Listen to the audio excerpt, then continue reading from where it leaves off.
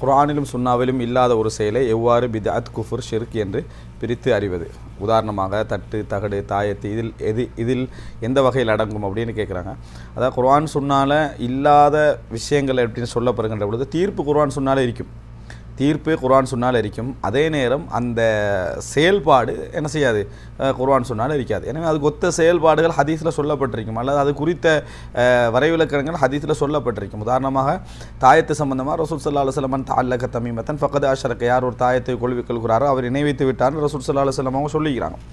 அப்போ அப்படி சொல்லியிருக்கிற நேரத்தில் இது அந்த தாயத்துடைய நடவடிக்கைகள் எது எதெல்லாம் எதில் எதெல்லாம் இருக்குமோ எல்லாமே என்ன செய்யும்? உதாரணமாக கடையில் வந்து போத்தல் என்ன செய்கிறாங்க கொழுவி வைக்கிறாங்க. அப்போ தாயத்தில் என்ன நடவடிக்கை நடக்குமோ அத்தனை செயல்பாடுகள் அந்த போத்தல் கொழுவுறத்தில் என்னது?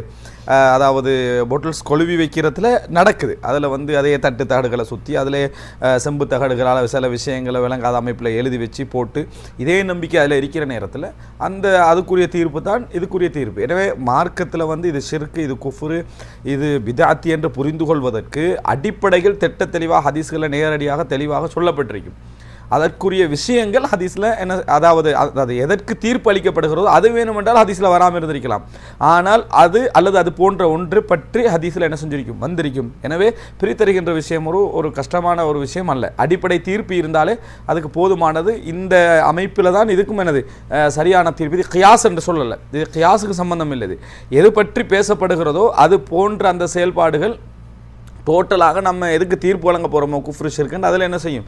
இருக்கும். அப்படி இருக்கிற நேரத்தில் நாங்கள் இது பற்றி எனது இது ஒரு தெளிவில்லாத ஒரு விஷயம் மாதிரி நம்ம பார்க்க வேண்டிய அவசியம் இல்லை. இப்போ உதாரணமாக இந்த தாயத்து அவர் கேட்குறார் தாயத்து தட்டு தகடு எதில் அடங்கும்னு சொல்லி. எல்லாமே ஷிர்க்கில் அடங்கும். தாயத்து தட்டு தகடு என்றது வந்து சிறுக்கில் குஃபுரில் அடங்கக்கூடிய ஒரு விஷயம் இணை வைத்தல் அடங்கக்கூடிய ஒரு அம்சம்.